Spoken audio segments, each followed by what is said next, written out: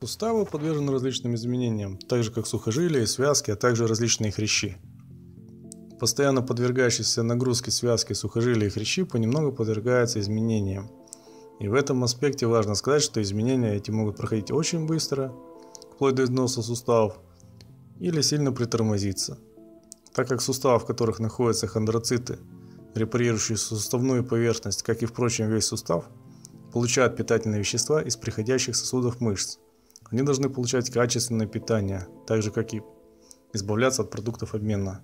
Здесь важно понять, что коллагеновые волокна, которые входят в состав соединительных тканей, таких как хрящи, сухожилия, связки и так далее, подвержены разрыву в зависимости от нагрузки и типа питания, в результате которого происходит микровоспаление. Это, в свою очередь, влечет за собой иммунную реакцию, за которой следуют репаративные процессы. И в момент иммунной реакции это, эти микровоспаления, э, ответ иммунной системы можно усилить или наоборот уменьшить, значительно уменьшить.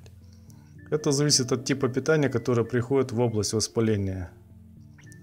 Так как э, микровоспаление является нормальной реакцией, но не в тех масштабах, когда оно переходит временные границы или протекает достаточно бурной реакцией – Э, что негативно сказывается на поступлении питательных веществ в репарируемую ткань, а также на вывод продуктов обмена. Таких веществ, которые могут усилить или наоборот уменьшить воспаление, достаточно большой спектр. И одним из таких продуктов, который может усилить воспаление и растянуть э, скорость иммунной реакции, является кофе. Кофе достаточно распространенный напиток, который, как показывают исследования, приводит к возрастанию провоспалительных агентов, а также факторов ревматоидного артрита. Особенно это важно для тех, кто имеет предрасположенность к ревматоидному артриту. И таким образом, убрав кофе из своего повседневного рациона, можно продлить жизнь суставам, связкам и сухожилиям, так же как и всему опорно-двигательному аппарату.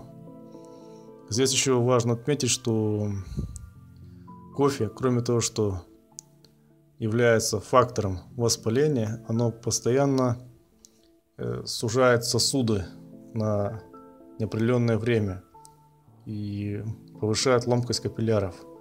А это уже, в свою очередь, уменьшает, то есть ухудшает микроциркуляцию э, в органах, особенно в опорно-двигательном аппарате. Мелкие капилляры, которые постоянно лопаются, могут приводить к нехватке питательных веществ во всех суставах межпозвоночных дисках, связках, мышцах и так далее.